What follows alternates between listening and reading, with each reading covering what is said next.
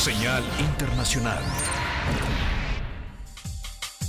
En Venezuela, innumerables familias se han visto la imperiosa necesidad de iniciar, de incinerar a sus difuntos ante la acentuada y prolongada escasez de ataúdes, cuya fabricación se encuentra totalmente paralizada por la falta de insumos. José Custodio Peña, presidente de la Asociación de Funerarias del Estado, destaca que la producción de ataúdes cayó 70% por falta de materiales, mientras que la demanda de urnas aumentó en 30%. Ante la extrema gravedad de la situación, últimamente los féretros son adquiridos en Colombia por familiares de los difuntos. Manifestantes protestaron ruidosamente el viernes frente a la playa Copacabana contra el presidente interino de Brasil, Michel Temer, en el día en que inaugurará los Juegos Olímpicos de Río de Janeiro.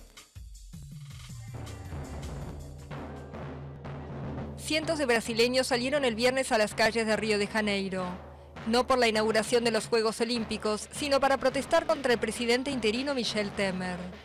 Están usando los Juegos Olímpicos, que son un evento mundial, para pedir el impeachment contra la presidenta Dilma. Por eso estamos protestando. Nós não temos nada contra a tocha e nem contra os Jogos Olímpicos. A nossa... No tenemos nada contra la antorcha ni contra los Juegos Olímpicos. Nuestra manifestación intenta mostrar a la prensa internacional y al mundo lo que está pasando en Brasil. Un golpe de Estado, que hay un parlamento controlado por una élite y por una fuerza reaccionaria. Uma força reacionária e golpista. Los manifestantes se concentraron frente al lujoso Hotel Copacabana Palace de Río, a pasos del Estadio Olímpico de Bola y Playa, frente a las miradas de cientos de turistas e integrantes de delegaciones de todas partes del mundo.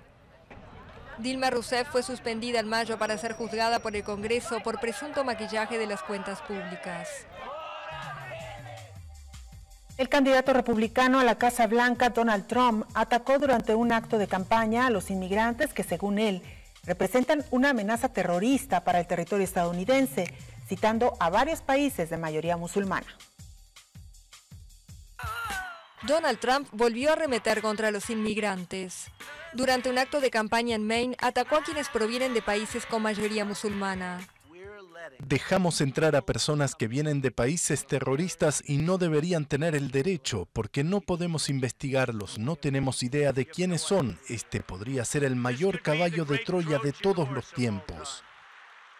El polémico candidato a la presidencia por el Partido Republicano evocó las detenciones o condenas en Estados Unidos de personas originarias de Siria, Somalia, Afganistán, Filipinas, Irak, Pakistán y Yemen.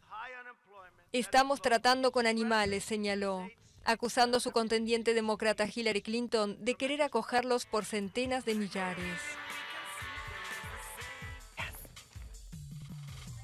Agentes de circulación de la capital francesa detuvieron este viernes a un refugiado afgano que era buscado desde hace días por sospechas de que planeaba cometer un atentado en París, según fuentes oficiales.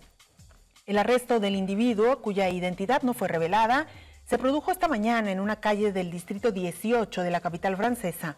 El hombre, buscado activamente desde el miércoles, habría llegado hace dos meses a Francia y habría pasado previamente por un campo de refugiados, de acuerdo con la policía.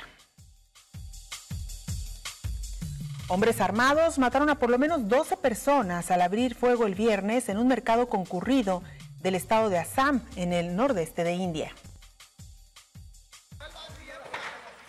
Hombres armados mataron a por lo menos 12 personas al abrir fuego el viernes en un concurrido mercado del estado de Assam, en el nordeste de India. Según la policía, también lanzaron una granada que provocó un incendio en un edificio del mercado. El ataque causó un número indeterminado de heridos. Uno de los atacantes murió por disparos de la policía. La ciudad de Balajan, donde ocurrió el ataque, se encuentra en una zona cercana a la frontera de Bután, que en el pasado fue escenario de una rebelión de los separatistas del Frente Democrático Nacional de Bodoland. El estado de Assam, fronterizo además con Bangladesh, arrastra también una larga historia de conflictos entre las tribus indígenas bodo, los colonos musulmanes y la comunidad adivasi.